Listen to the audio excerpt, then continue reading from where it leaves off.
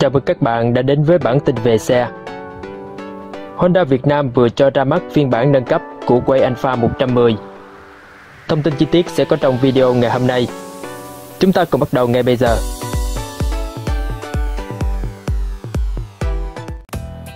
Quay Alpha là một trong những dòng xe có doanh số tốt của Honda. Nhìn tổng thể thì phiên bản nâng cấp 2020 vẫn giữ nguyên kiểu dáng gọn gàng, trung tính từ trước đến nay của quay Alpha Xe có kích thước tổng thể, dài trọng cao, là 1914 x 688 x 1075 mm. Trọng lượng khô của xe là 97 kg. Bình xăng có dung tích 3.7 lít. Khoảng sáng gầm xe là 138 mm. Lớp trước của xe có kích thước 70 90 17. Lớp sau có kích thước là 80 90 17. Điểm thay đổi đáng chú ý nhất trên Way Alpha 2020 là hệ thống đèn pha tự động. Quay Alpha là mẫu xe đầu tiên của Honda tại Việt Nam sở hữu tính năng này. Yamaha không trang bị công nghệ này trên các mẫu xe của mình. Trên các mẫu xe mới ra mắt của Honda, công tắc đèn đã được loại bỏ. Vì vậy, tính năng đèn pha tự động sẽ giúp đèn xe không phát sáng vào ban ngày. Điểm nhấn đầu tiên trên quay Alpha 110 là tem xe được thiết kế mới với sự pha trộn hài hòa logo cách điệu quay Alpha và nền họa tiết mô phỏng ký hiệu Alpha. Điểm nhấn thứ hai đến từ thiết kế mặt đồng hồ mới với vòng họa tiết độc đáo bao quanh, tạo sức hút mới lạ cho người sử dụng. Mặt nạ và yếm xe được thiết kế liền khối, mang đến sự thon gọn khi nhìn từ phía trước đầu xe. Đặc biệt, chắn bùn trước được thiết kế kéo dài hơn so với phiên bản trước, nâng cao khả năng chắn bùn đất, nhất là ở những đoạn đường lầy lội, ngập nước Phần đuôi xe là cụm đèn hậu liền khối, vuốt gọn hài hòa, tạo ra sự cân đối và chắc chắn từ phía sau.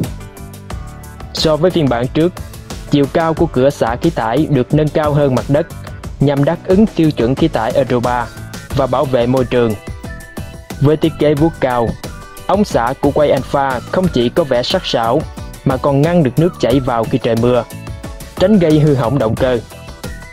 Bên cạnh đó, mẫu xe này được trang bị ổ khóa đa năng 3 trong 1 bao gồm khóa điện, khóa cổ và khóa từ. Dù không hiện đại như Smart Key, hệ thống khóa này lại dễ dàng sử dụng và phù hợp với số đông. Khóa yên xe vẫn được đặt ở phía sau đuôi xe. Honda tiếp tục trang bị cho phiên bản nâng cấp của Way Alpha động cơ dung tích 110cc SOHC làm mát bằng không khí. Khối động cơ này sản sinh công suất 8.2 mã lực tại 7.500 vòng trên phút và mô men xoắn cực đại là 8.44 Nm tại 6.000 vòng trên phút. Theo nhà sản xuất, vận tốc tối đa của quay Alpha 110 là 92 km/h. Mức tiêu hao nhiên liệu do nhà sản xuất thông báo là 1.9 lít xăng trên 100 km. Honda quay Alpha 110 có 5 tùy chọn màu sắc là màu trắng đen bạc màu đỏ đen bạc. Màu xanh đen bạc. Màu xanh đậm đen bạc. Và màu đen bạc. Giá bán được Honda niêm yết là 17.79 triệu đồng. Mức giá này không đổi so với phiên bản cũ.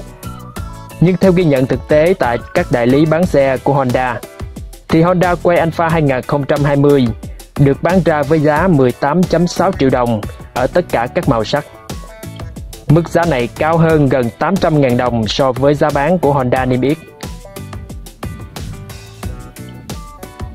Cảm ơn các bạn đã xem video. Hãy để lại bình luận của các bạn về mẫu xe này. Đừng quên ấn like và subscribe kênh. Hẹn gặp lại các bạn ở những video tiếp theo.